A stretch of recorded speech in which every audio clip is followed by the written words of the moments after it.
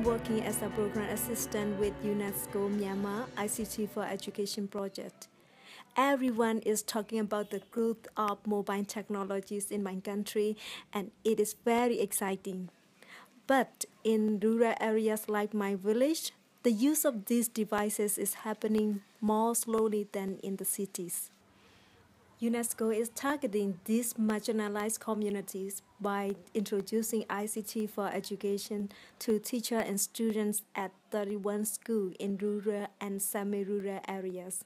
In the partnership with the Department of Basic Education, UNESCO has been delivering professional development on ICT pedagogy integration because we know that teachers are the key to ICT being used to improve student learning because so many of our teachers have very little access to technology two years ago.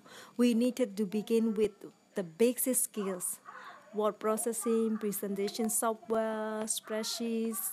We taught them how to access the internet and find resources. As they became more comfortable, we introduced them to tablets and the English mobile learning application UNESCO developed that allows teachers to interact with students.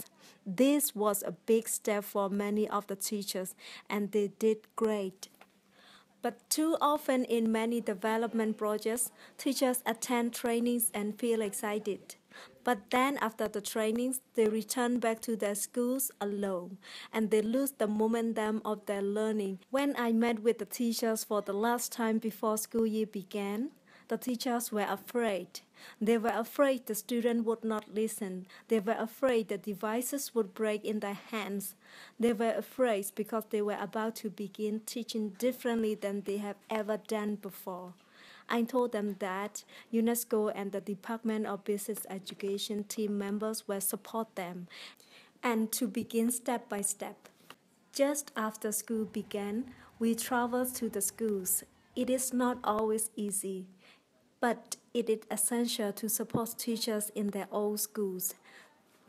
During our first visits, the teachers were struggling because it was their first time. They were not confident in front of their students but we listened to them, we encouraged them.